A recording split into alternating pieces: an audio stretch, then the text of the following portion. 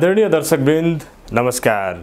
सम्पूर्ण बैङ्किङ तथा वित्तीय समस्याको समाधान भन्ने मूल नाराका साथ स्थापित बैङ्किङ एन्ड फाइनेन्सियल सोल्युसन प्राली कोटेश्वरको प्रस्तुति बैङ्किङ सेरोफेरोमा म मनोज पौडेल यहाँलाई हार्दिक स्वागत गर्न चाहन्छु।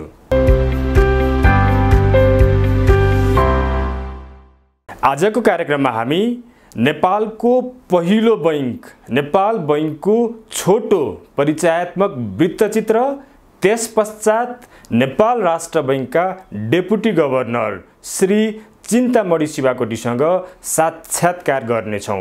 आउनुहोस् कार्यक्रमको सुरुवात गरौँ। नेपालको पहिलो बैङ्क नेपाल बैङ्कको छोटो परिचयात्मक भिडियोबाट।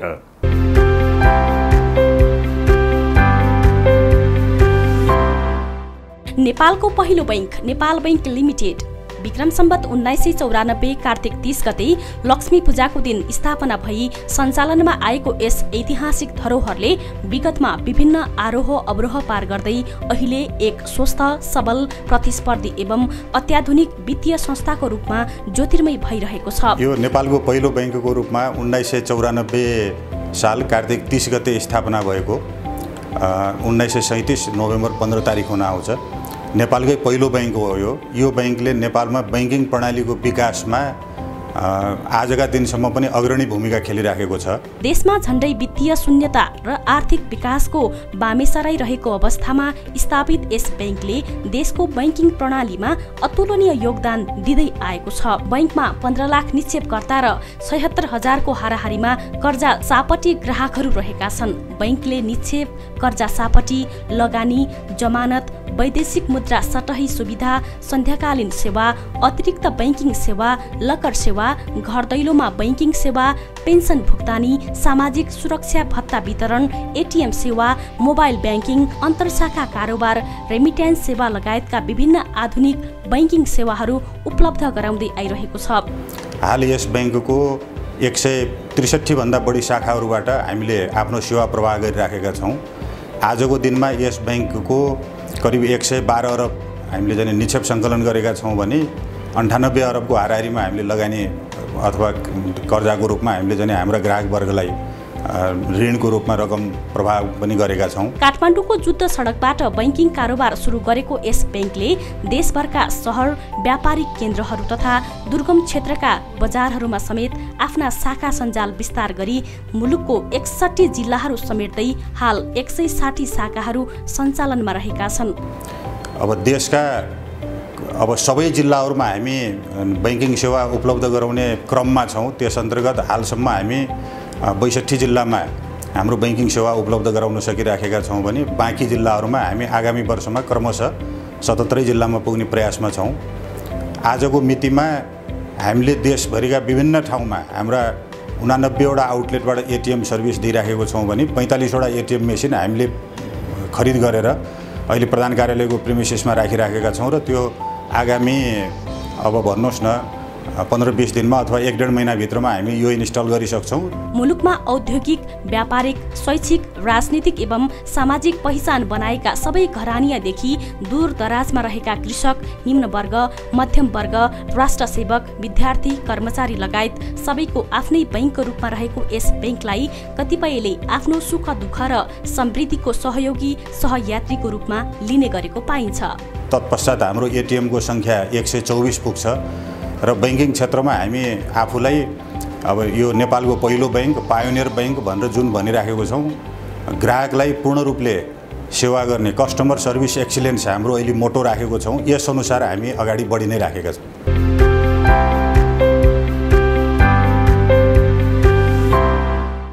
आदरणीय दर्शकवृन्द नेपालको पहिलो बैङ्क नेपाल बैङ्कको यो छोटो परिचयात्मक भिडियो पश्चात अब हामी कमर्सियल ब्रेकमा जाँदैछौँ।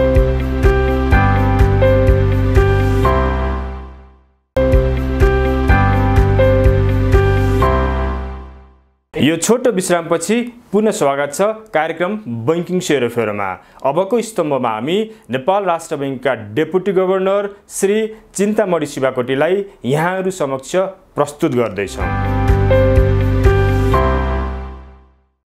सर कार्यक्रममा स्वागत छ। धन्यवाद। अहिले व्यापक बहस र चर्चाको विषय बिग मर्जर।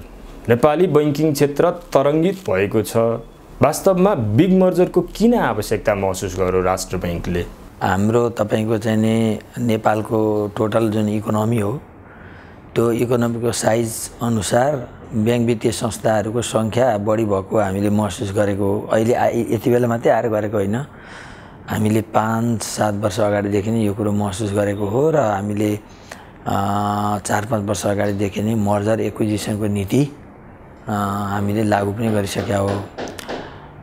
र हामीले यो महसुस गर्नुको पछाडि के छ भने एकातिर हामीले कन्ट्रीको इकोनोमी साइज यसको जिडिपी हेर्ने हो भने अर्कोतिर हामीले त्यही अनुसारको अरू देश हाम्रा छिमेकी मुलुकहरूको पनि तुलना गरेर हेर्ने हो। त्यो हिसाबले चाहिँ कस्तो देखिएको छ भने हाम्रो चाहिँ ब्याङ्क वित्तीय संस्थाहरूको सङ्ख्या अधिक भएको देखिएको छ।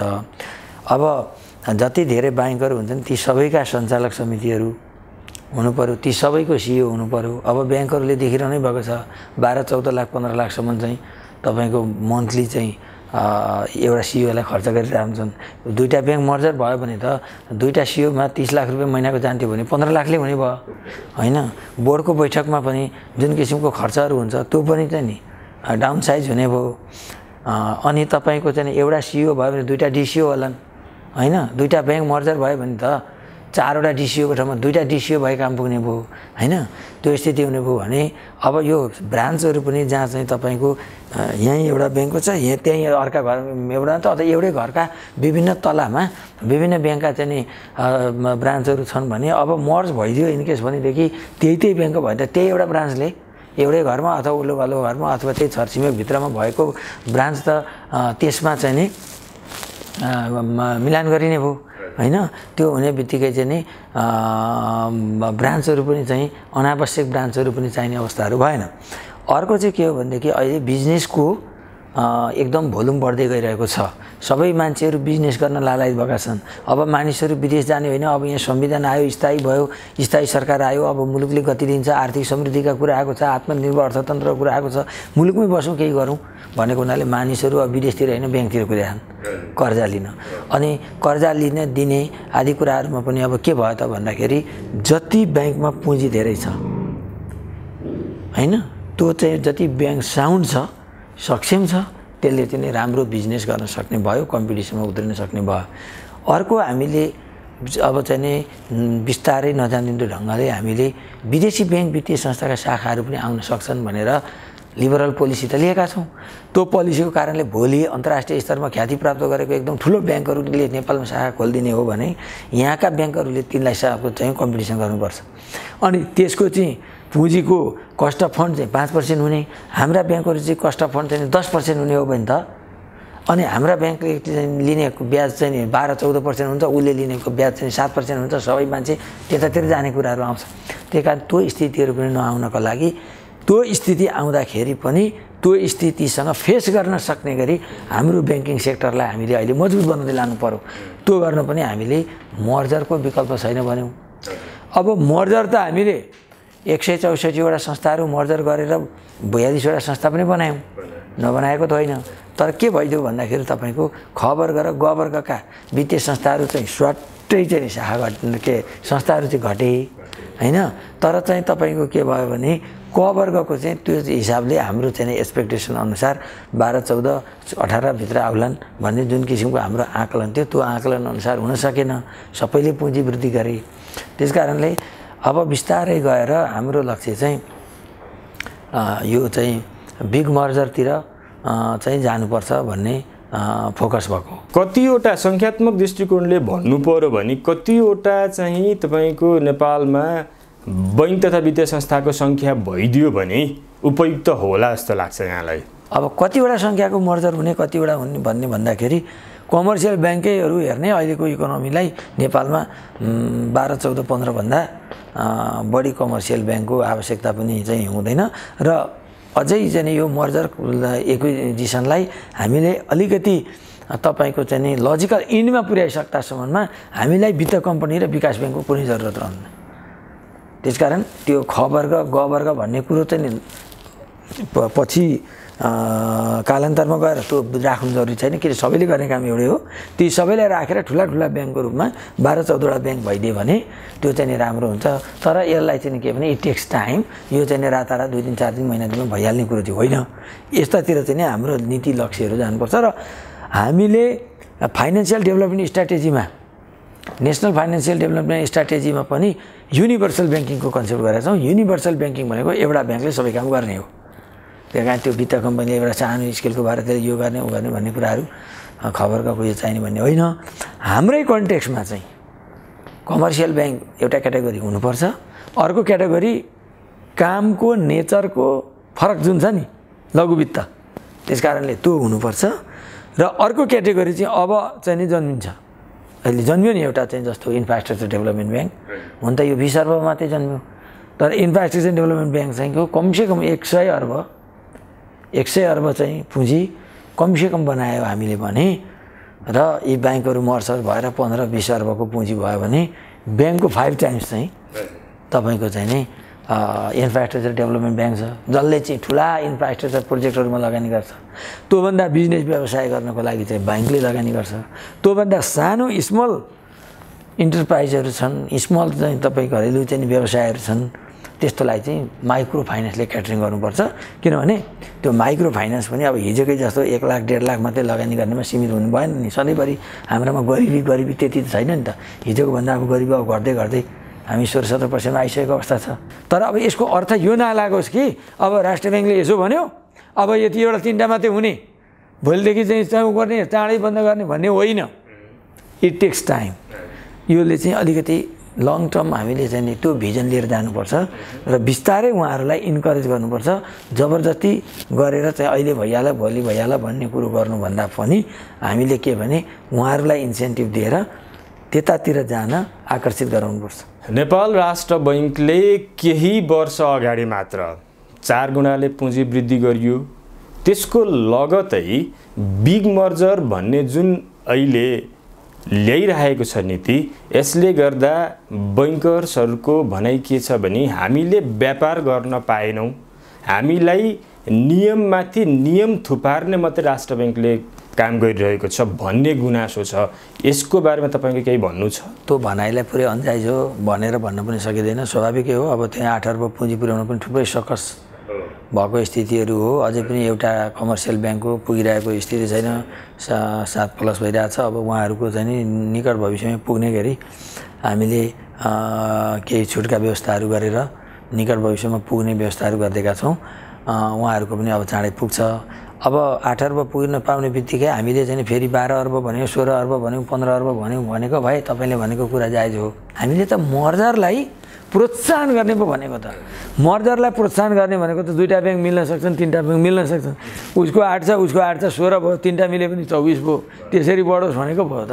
त्यही कारण अहिले फेरि पुँजी थप फेरि चाहिँ समस्या गर्ने भन्ने कुराहरू चाहिँ हाम्रो होइन। तर जे होस् पुँजी वृद्धिको जुन हामीले नीति लियौँ त्यो अहिले आएर हामीले मूल्याङ्कन गर्दा त्यो ठिक थियो। आज आठ अर्बको पुँजी बनाउँदाखेरि पनि ब्याङ्कहरू हामीसँग लगानी गर्ने पैसा छैन। सिसिडीको रूपमा हामी पुग्यौँ। अब हामी अरू फर्दर बिजनेस एक्सपान्सन गरेर हामीसँग पैसा छैन। भन्दै हुनुहुन्छ भने सबै ब्याङ्क चाहिँ उहाँहरूले खोल्ने। सबै अरूले पैसा लगेर दिनु त हुँदैन। सेन्ट्रल ब्याङ्कले अथवा गभर्मेन्टले लगेर पैसा चाहिँ नि उहाँहरूलाई सधैँभरि दिने भन्ने त हुँदैन। कुनै कुनै ठाउँमा अब निर्यातलाई प्रोत्साहन गर्नलाई इन्सेन्टिभ दिने कुराहरू आउँदा कुनै ठाउँमा अन्य व्यवसायहरूमा उत्पादनशील क्षेत्रमा पुनर्कर्जाहरू दिने कुराहरू आउँला कुनै कुनै ठाउँमा चाहिँ नि अब ब्याज अनुदान दिने कुराहरू आउला सहुलियत कर्जाहरूमा कृषि कर्जाहरूमा होइन? त्यो चाहिँ कुरा हो राज्यले गर्ने। तर सबै ठाउँमा ब्याङ्कहरूलाई चाहिँ चाहिने तरलता हामीले म्यानेज गरिदिने पैसा व्यवस्थापन गरिदिने भन्ने कुरा पनि त्यो हुँदैन। प्रविधिले पनि साउनु हुनुपर्छ नि। प्रविधिमा विभिन्न सफ्टवेयरहरू लगाउनेदेखि लिएर आएर कर्मचारी पनि त्यस्तै दक्ष बनाएर लिएर जानु पऱ्यो हरेक चिजले उहाँ चाहिँ सक्षम हुनु पऱ्यो ब्याङ्कहरू। त्यसको लागि क्यापिटल बेस चाहिँ उहाँहरूले बढाउनु जरुरत थियो। आज तपाईँ चाहिँ कल्पना गर्नुहोस् अब आज आठ अर्ब हुँदाखेरि पनि पुँजी लगानी गर्न चाहिँ छैन सबै पैसा लगानी भइसक्यो भन्नुहुन्छ उहाँहरू भने हिजोको दुई अर्बमा बसिरहेको भए के हुने रहेछ त अहिले? स्थिति भयावह हुने रहेछ त्यो भयावह हुनको स्थितिबाट कमसेकम हामीले यो अवस्थामा लिएर आएका छौँ। त्यसकारण त्यही भएर पनि एकदमै दुईबाट आठ भनेको हामीले चार फोल्ड जुन बढाइरहेका थियौँ त्यो भनेको वास्तवमा ठुलै थियो। हामीलाई पनि पुग्दैन कि भन्ने डर थियो। त्रास थियो शङ्का थियो तर चाहिँ पुग्यो होइन? पुग्यो अब आएर पुग्यो। टा ट्याक्कै टाइममा पुगेन। अब भने जस्तै त नेपाल हो नेपालको इकोनोमी हो नेपालको ठाउँ हो भने जस्तो जुन दिनलाई टार्गेट गरेर ठ्याक्कै त्यही दिन कसैको पनि पुग्दैन लक्ष्य चाहिँ राख्नुपर्छ उद्देश्य पनि लिनुपर्छ प्रयत्न पनि गर्नुपर्छ कमिटमेन्ट पनि हुनुपर्छ तर बाह्य परिस्थितिहरूले विभिन्न परिस्थितिहरूले हामीलाई केही चाहिँ असर गरिरहेका हुन्छन्। त्यो असरको कारणले हामीले ठ्याक्कै त्यही दिन भएन भनेदेखि निराश हुनु पनि पर्दैन। हामीले पुर्याउनेले समयमा पुर्याए नपुर्याउनेलाई हामीले इन्करेज गर्दै गयौँ समय थप्दै गयौँ तागिता गर्दै गयौँ होइन? हामी पछि लाग्दै गयौँ र अन्तत कता पुँजी पुगेको अवस्था छ। अब तपाईँले भने जस्तो यत्रो पुँजी पुर्याउने बित्तिकै अब फेरि चाहिँ बढाउने भन्दा हामी पुँजी अहिले बढाउनु भने होइन? हामीले मर्जर हुनु भनेको कि मर्जरमा हाम्रो चाहिँ उद्देश्य अनुरूप अलिकति कमर्सियल ब्याङ्क पनि घटिदिएको भए अलिक अझ राम्रो साउन्ड ब्याङ्किङ सिस्टम बन्थ्यो नेपालको भन्ने जुन हाम्रो चाहिँ नि अपेक्षा थियो त्यो अपेक्षा मिट नगरेको हुनाले अब सेकेन्ड फेजमा चाहिँ अब मर्जरतिर हामी लाग्यो भने चाहिँ त्यो अलि सम्भव होला कि अझै साउन्ड सिस्टम बनाउने कुरामा हेल्प होला कि भन्ने हाम्रो विषय हो। साढे छ सात प्रतिशतमा प्रवाह भएको कर्जा। अहिले चौध पन्ध्र प्रतिशतसम्म पनि पुगेको भन्ने जनगुनासो छ। यसमा नेपाल राष्ट्र बैङ्क मुख दर्शक मात्र भएर बसो कुनै पनि कारवाही गर्न सकेन भन्ने लगायतका टिका टिप्पणी भइरहँदा नेपाल राष्ट्र बैङ्कले यो प्रकृतिका ब्याज बढाउने कामप्रति केही एक्सन लिने सोचमा छ?